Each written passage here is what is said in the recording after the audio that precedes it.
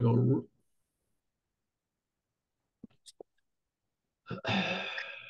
The Alter Rebbe himself used. Oh, we did this. Didn't we do this? Huh? Yeah. Yeah, sure we did. This is Yeah, I'm going to Elul 20, the 20th of Elul today. one second, one minute, one minute. This is the 18th. And that's 18th, and this is today, 20th. 19th. We did this yesterday, right? Right, right. We did some- Yeah, yeah, yeah, yeah, we did this. Okay, 20.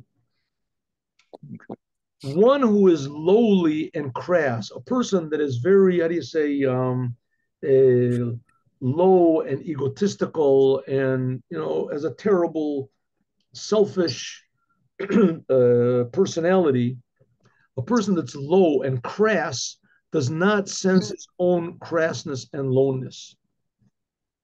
A person that's low, it says that King Solomon was so wise that he was even wiser than a fool.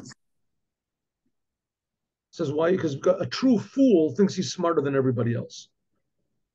And King Solomon was so wise that even the fools were willing to admit that, okay, I'm smarter than everybody else, but he, not King Solomon. That's the level of wisdom that he had. Even though a fool is really more stupid than everyone else, and there's nothing more stupid than thinking you're smarter than everybody else. But that's what is. The person who's very low does not sense how low he is.